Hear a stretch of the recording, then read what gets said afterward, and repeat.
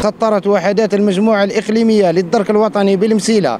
تزامنا مع دخول فصل الشتاء واقتراب العطلة الشتوية لأبنائنا المتمدرسين حملة تحسيسية واسعة النطاق للوقاية من حوادث المرور مع مختلف الشركاء الفاعلين في الميدان والتي ستنطلق بداية من يوم الخميس 15 سبتمبر 2022 إلى غاية 15 جونفي 2022 تحت شعار السياقة بحذر وقاية من الخطر بضرورة تطبيق قانون المرور والابتعاد عن بعض السلوكيات السلبية التي أهمها السرعة المفرطة ولعل حادث المرور الجسماني الواقع على مستوى بلدية أشلال أبرز دليل على ذلك من خلال والذي أفضى إلى عدة وفيات وكذا جرحى للأسف نترحم عليهم. نحن في هذه الحملة التحسيسية نهدف إلى توعية أكبر قدر من من السائقين المركبات حول أخطار حوادث المرور لتفادي حوادث المرور الأسوية خاصة خلال فترة الشتاء تكثر التقلبات الجوية. اليوم خرجنا في هذه الحملة التحسيسية لنقول لا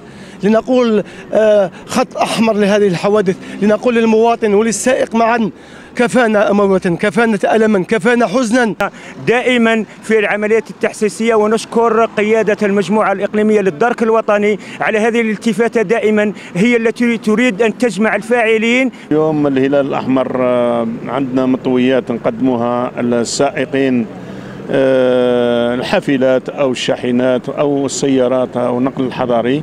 بصفة عامة يعني نحاولوا نقلصوا من هذا هذا الكوارث هذه اللي أصبحت